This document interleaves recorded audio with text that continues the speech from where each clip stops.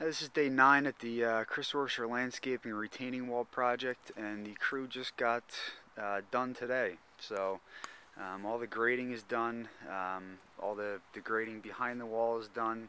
They installed the uh, low voltage lights, put in the capstones, um, put back any plants that were uh, transplanted at the beginning, um, and it's just a great looking wall. I mean, it's natural PA field stone, just a, a great way to, to go with a retaining wall.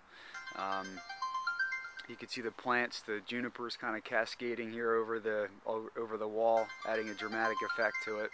Um, same thing here on the other side as we pan down here. Uh, more junipers cascading over just adds another um, natural element to the stone and makes it more naturalistic the dianthus here once the spring hits um, once the, once the dianthus starts to grow that'll kind of creep over. Um, all the the plants again that were transplanted in the beginning um, are all back. Uh, we put a nice edge uh, along the bed so when we mulch this in the spring it'll be ready to go.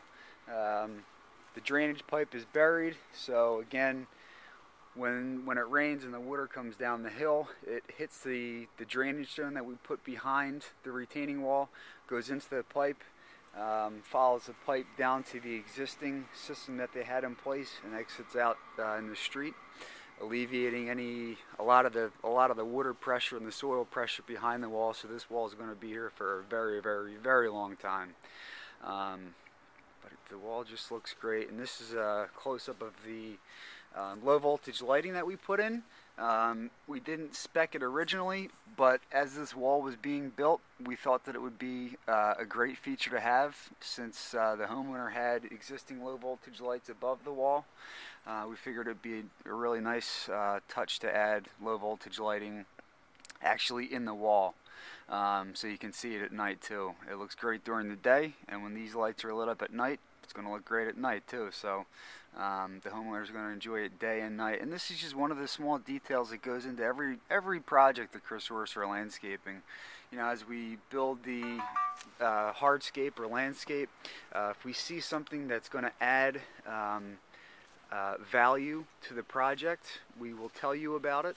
And you know, the decision's yours whether or not to do it. But we're we're always going to tell you. Um, we're always in touch with the with the client to tell you what's going on. Um, and you know, one of the main goals at Chris Orser Landscaping is to make the client happy. Um, we're here to serve the client. Um, we're available all day long, seven days a week.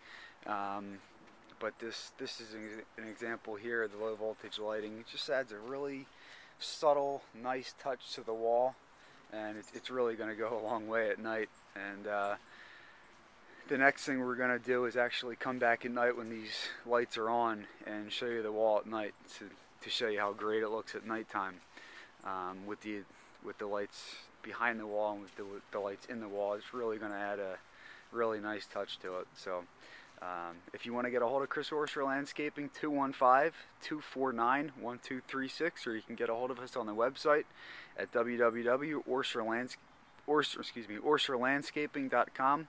You said again, uh, www.orser, O-R-S-E-R, landscaping.com.